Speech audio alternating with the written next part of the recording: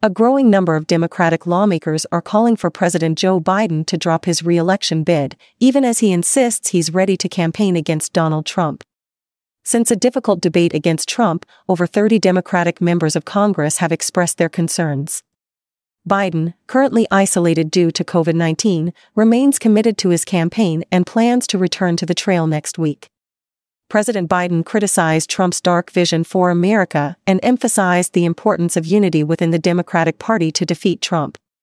Despite worries about Biden's age and health, campaign chair Jen O'Malley Dillon insists Biden can still win, highlighting multiple paths to victory. However, notable figures like former President Obama and Speaker Emerita Nancy Pelosi have privately urged Biden to step aside. Senator Martin Heinrich and several House Democrats have publicly called for Biden to withdraw. Meanwhile, discussions within Congress about supporting Vice President Kamala Harris as an alternative are ongoing. As Biden battles COVID 19, Democratic leadership is weighing the potential of a new nominee ahead of the convention.